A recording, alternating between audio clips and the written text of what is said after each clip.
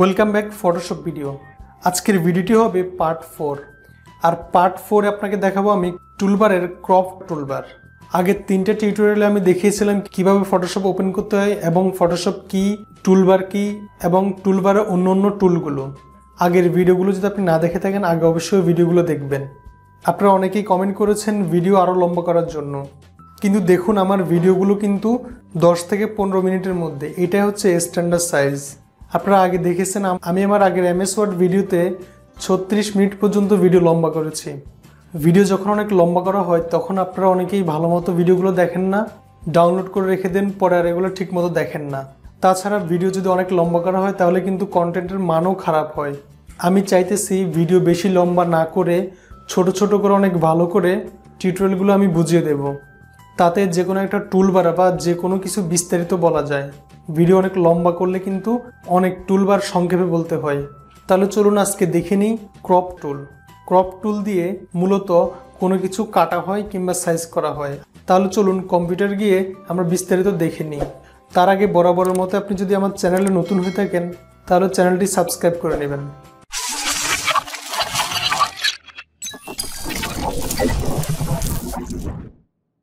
তাহলে আজকে আমরা চার নম্বর পার্টে দেখব এই ক্রপ টুলবার। তার আগে আমরা ফটোশপের তিনটা পার্ট দেখেছিলাম। এগুলো আমরা move tool mark tool lasso tool magic tool এই ভিডিওগুলো আমরা দেখেছিলাম। আপনি যদি আগের ভিডিওগুলো মিস করেন, তাহলে অবশ্যই এটা দেখে নেবেন। এটা দেখার জন্য আপনি আমার ইউটিউব চ্যানেলে গেলে এখানে আপনি ভিডিওতে দেখতে পারবেন।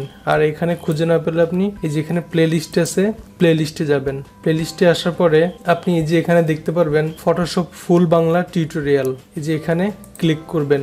ক্লিক করার পরে এই যে এখানে দেখতে পারবেন সিরিয়াল ওয়াইজ সিরিয়াল ওয়াইজ টিউটোরিয়ালগুলো দেওয়া আছে, এই যে part one part two part three এখান থেকে আপনি ক্লিক করে ফটোশপের আগের ভিডিওগুলো আপনি দেখে নেবেন। তাহলে এখন আমরা দেখব ক্রপ টুল এই ক্রপ টুলের ভিতরে আরও চারটি অপশন রয়েছে।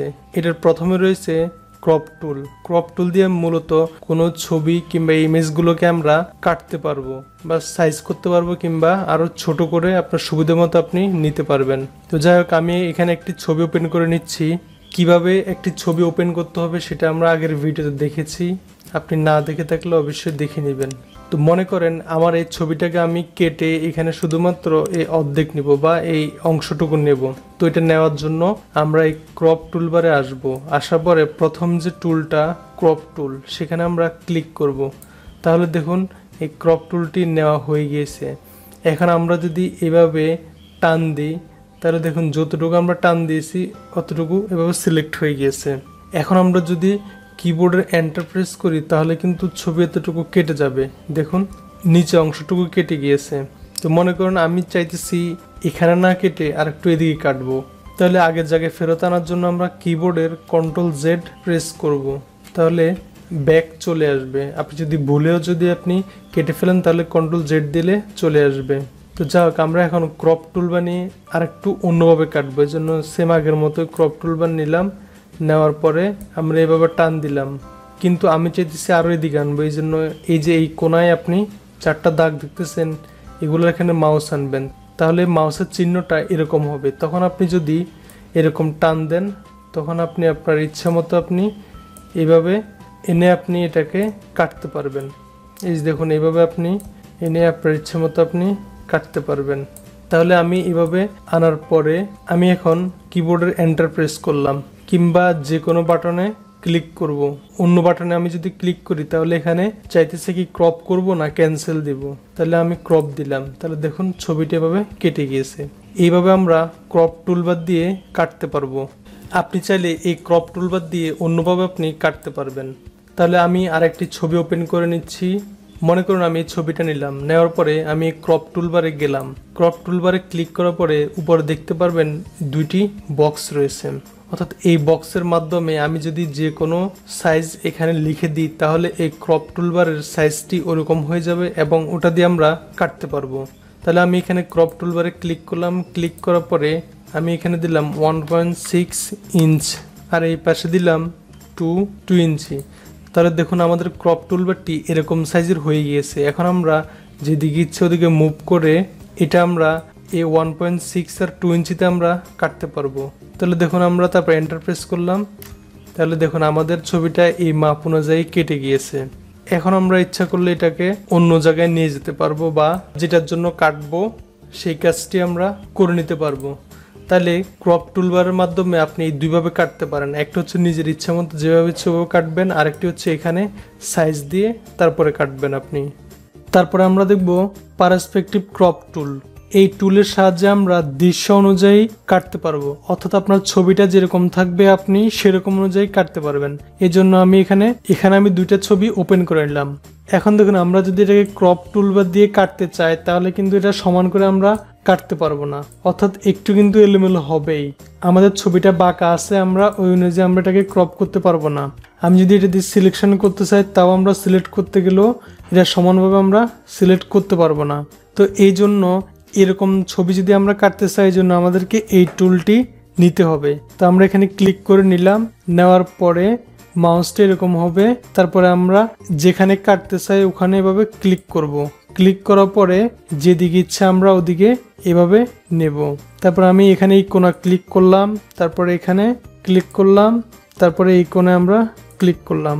তারপর আমরা যদি কিবোর্ডের এন্টার প্রেস করি, তাহলে দেখুন আমাদের ছবিটি সমানভাবে ক্রপ হয়ে গিয়েছে। অর্থাৎ আমাদের ছবিটা ছিল অ্যাঙ্গেলে, বাঁকা ছিল। এখন আমরা এটাকে সোজাভাবে কাটতে পেরেছি। আমি যদি আরেকটি ছবি আপনাকে কেটে দেখাই, তাহলে হয়তো আরেকটু ভালো বুঝবেন। দেখুন, এখানে এরকম ডেস্কটপের আরেকটা ছবি আছে। তো এটাকে যদি আমরা সমানভাবে সিলেক্ট কিংবা কাটতে চাই, দেখুন, আমরা কখনোই কাটতে পারব না। এটা সোজা করলেও হবে না, এটা কিন্তু বাঁকা একটু। তো এই জন্য আমরা এখান থেকে পারসপেক্টিভ ক্রপ টুলটা নিলাম। নেওয়ার পর আমরা এখানে কোনায় ক্লিক করলাম। তারপর আমরা এখানে ক্লিক করলাম, তারপরে এখানে এভাবে আমরা নিলাম। নেওয়ার পরে কিন্তু আমরা এটাকে চেঞ্জ করতে পারব। এই জন্য আমরা এই কোণে যদি এভাবে আনি, এটাকে আরও আমরা ঘুরিয়ে আমাদের ইচ্ছা মতো আমরা এটাকে নিতে পারব। তারপর নেওয়ার পরে আপনি এন্টার দিবেন। আপনি যদি চান নিচের দিকে আরও নিতে পারেন। যাই আমরা এখান পর্যন্ত নিব, নেওয়ার পর আমরা এন্টার দিব। তাহলে দেখুন আমাদের ছবিটি এরকম সোজা হয়ে গিয়েছে। তাহলে আমরা এই টুলবার দিয়ে এভাবে আমরা ক্রপ করব। তারপরে ক্রপ টুলবার রয়েছে স্লাইস টুল একটা হচ্ছে স্লাইস টুল অর্থাৎ আমরা একটা ছবিকে বিভিন্ন স্লাইস করে কাটতে পারব। অর্থাৎ একটা ছবিকে বিভিন্ন ধরনের স্লাইস করে করে আমরা ছবিকে কাটবো। তো সেম এই জন্য আমি একটা ছবি ওপেন করে নিলাম। ছবি কীভাবে ওপেন করতে হয় সেটা আগের ভিডিওতে দেখেছেন। তাহলে আমি এখানে এই পিকচারটি এখানে ওপেন করে নিলাম। এখন ওপেন করার পরে আমরা এই স্লাইস টুলবার দিয়ে আমরা কাটবো। তো এই জন্য আমরা এখানে ক্রপ টুলবারে এসে স্লাইস টুলবারটি নিলাম। নেওয়ার পরে আমরা মনে করেন এখানে একটা টান দিয়ে এরকম বক্স আকার একটা স্লাইস করলাম। এখন দেখুন, এখানে একটি বক্স এসেছে, নিচে আর একটি বক্স এসেছে। তারপরে মনে করুন আমরা এখানে এই যে ব্লগের এখানে একটা পিকচার আছে, এখানে পিকচার অনুপমের পিকচার এই যে এক একটা পিকচারকে আমরা আলাদা করব। এটা যদি আমরা আলাদা আলাদা করতে চাই, অনেক সময় লাগবে। এই জন্য আমরা এই স্লাইস টুলবার দিয়ে করব অনেক সহজে। তা আমরা যদি তা আমরা যখন একটা টুলবার এখানে টান দিয়েছি, তখন দেখুন এখানে এখানে থ্রি চলে এসেছে। অর্থাৎ আমরা এখানে তিনটা স্লাইস নিয়েছি। তারপর আমরা এই স্লাইসটাকে আমরা ছোট, বড়, ইচ্ছে মতো আমাদের আমরা সাইজ করে নিতে পারব। তো মনে করুন আমি এখানে একটা স্লাইস করছি, এগুলোকে আমি আলাদা আলাদা করব। এই জন্য আবার আগের মতো আমি স্লাইস টুলব্যান্ডে নিয়ে এভাবে এখানে একটা টান দিলাম, তারপরে এখানে একটা করলাম, এই যে এখানে একটা। এভাবে আমি স্লাইস করেছি। আর পুরো ছবিকে একটা স্লাইস করেছি। আমি যদি এখান থেকে আরও আলাদা করতে চাই, মনে করেন আমি এই ছবিটা আলাদা করব, এই জন্য এখানে স্লাইসটা করলাম। তা আপনি ইচ্ছা করলে এই স্লাইসটাকে ছোট, বড়, আপনি আপনার সুবিধা মতো সাইজ দিতে পারেন। তারপর আপনি আবার এই স্লাইসটাকে বিভিন্ন নামও আপনি দিতে পারেন। এর জন্য এখানে ডাবল ক্লিক করলে এরকম একটি স্লাইস অপশন আসবে। তাহলে আপনি এখানে ডাবল ক্লিক করলে আপনি এই স্লাইসটার নাম দিতে পারবেন। মনে করেন আমি এখানে একটা নাম দিলাম। তারপর ওকে দিলাম। তাহলে দেখুন আমরা এখানে ষাটটা স্লাইস করেছি। তারপরে এই স্লাইস করার পরে আমরা এখানে এটাকে আমরা সেভ দিব। আমরা ফাইলে গিয়ে এখানে সেভ ফর ওয়েব এখানে আমরা ক্লিক করব। তারপর আমরা এখানে যদি সেভে ক্লিক করি সেভে ক্লিক করার পরে আমরা এটাকে কোথায় সেভ করব, সেটা আমরা দেখিয়ে দিব। তারপরে এখানে আমরা ফোল্ডারটা সিলেক্ট করে দেওয়ার পরে আপনি এখানে চলে ফাইল নেমটা দিতে পারেন। তারপরে এখানে ফরম্যাট দেখতে পারবেন এস টিএমএল অ্যান্ড ইমেজ আপনি যদি শুধু এখানে ইমেজ অনলি দেন, শুধুমাত্র ছবিগুলো সেভ হবে। আপনি যদি এস টিএমএল দেন, তাহলে একটি এস পেজ এখানে সেভ হবে। আর আপনি যদি টিএমএল অ্যান্ড ইমেজ দেন, দুইটাই সেভ হবে। তা আমি এখানে শুধু একটি ইমেজ নিব, এই জন্য ইমেজ অনলি দিলাম। তারপরে আমি এখানে নাম দিলাম। মোর স্লাইস মোর স্লাইস তারপর আমরা সেভ দিলাম। তাহলে দেখুন, আমাদের পিকচারটি সেভ হয়ে গিয়েছে।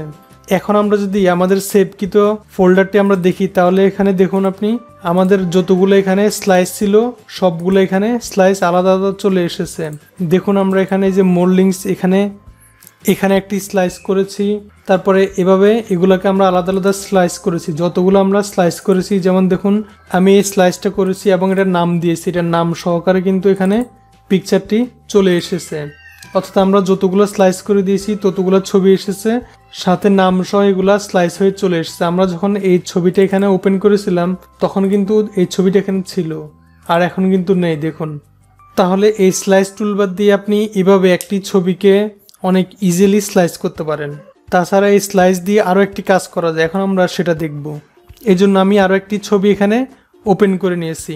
ওপেন করার পরে সেম আগের মতো আমি এখানে স্লাইসে ক্লিক করলাম। ক্লিক করার পরে আমি বিভিন্ন স্লাইস করব। মনে করেন এই লোগোটাকে আমি একটা স্লাইস করব এই জন্য এখানে স্লাইসে ক্লিক করলাম। এখন আপনি আগের মতো ইচ্ছা করলে বড়, ছোট আপনি করতে পারবেন। তারপরে আমি এই ছবিটাকে একটা স্লাইস করলাম। তারপরে এই লেখাটাকে একটা করলাম। তারপর আমরা এই যে এখানে হোমে করতে পারব এক্সামে করতে পারব। তারপর আমরা এই যে ফেসবুকের একটা লোগো এখানে একটা স্লাইস করতে পারব। তো এখানে যদি কোনোটা ভুল হয়ে যায়, আপনি কন্ট্রোল জেড দিলে এটা আগের জায়গায় ফেরত যাবে। তারপরে এভাবে আমরা স্লাইসগুলো আলাদা করার পরে, তাহলে এগুলোতে আমরা ডাবল ক্লিক করলে আমরা এখানে স্লাইসের নাম দিতে পারব। মনে করেন আমরা নাম দিলাম লোগো তারপরে এখানে দেখুন ইউআরএল আপনি যদি এখানে ইউআরএলটা দিয়ে দেন, তাহলে আমরা যখন একটি এইচটিএমএল বা ওয়েব পেজ তৈরি করব তখন তখন এখানে আমরা ক্লিক করলে এটা সরাসরি ওয়েব ব্রাউজারে চলে যাবে। তো মনে করেন আমি এখানে ইউআরএলটা দিলাম। তারপর এখানে টার্গেট আছে মেসেজ টেক্স আছে অল্টার ট্যাগ আছে, এগুলো না দিলেও হবে, তারপর আমি ওকে দিলাম। তারপরে এখানে দেখতেছেন ফেসবুক লোগো তা আমরা যদি আগের মতোই আমরা এখানে ক্লিক করি, তাহলে আমরা এখানে দিলাম ফেসবুক যদি আমরা এখানে লিঙ্কটা দিতে চাই,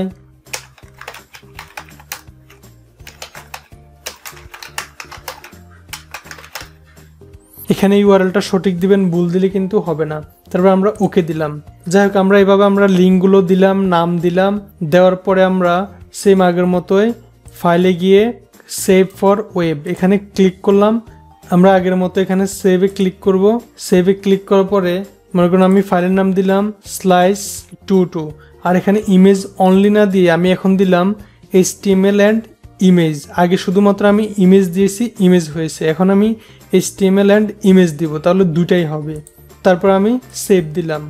এখন যদি আমরা ফাইলে গিয়ে দেখি, তাহলে দেখুন আমরা এখানে একটি ইমেজ ফাইল ওপেন হয়েছে এবং একটি এইচটিএমএল ওয়েব পেজ তৈরি হয়েছে। তো আমরা যদি ইমেজ যাই, তাহলে আমরা দেখতে পারব এই যে যতগুলো আমরা ইমেজ স্লাইস করেছি এখানে ততগুলো এসেছে।